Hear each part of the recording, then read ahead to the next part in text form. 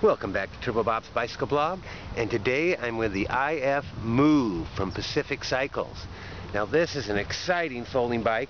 Now I'm sure you've seen uh, the IF Mode that I've been riding and this is its smaller brother but you know in a lot of ways it's more rideable.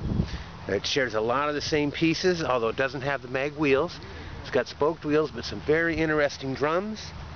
That inboard disc brake and the mono fork that's part of what gives it the unique folding ability. Now this is basically art on wheels. I mean the uh, the sculpturing of this bike, the way it folds, both wheels come completely together. It's got that handle up here. You can cart it around like a oh, like a little rack. It's got nine speeds.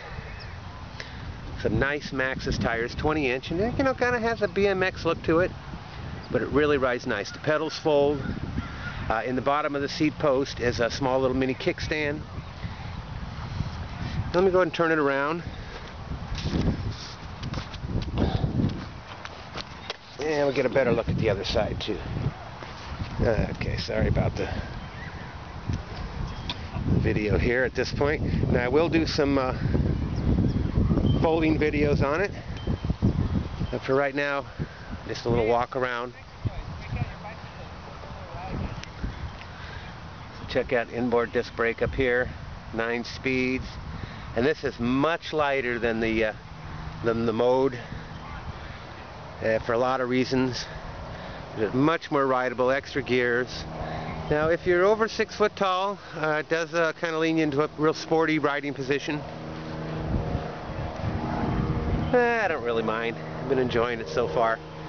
I'll get some uh, videos of the fold on this and the IF mode and some uh, together riding ones. So keep an eye on my site for more stuff. This is a Pacific IF Move uh, on loan to me from Nice Wheels, NYCE Wheels in New York. Uh, they're folding and electric bike specialists.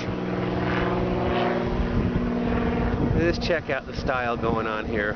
What a machine.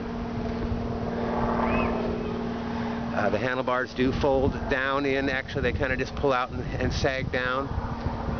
Hit some uh, fairly high-end disc brakes.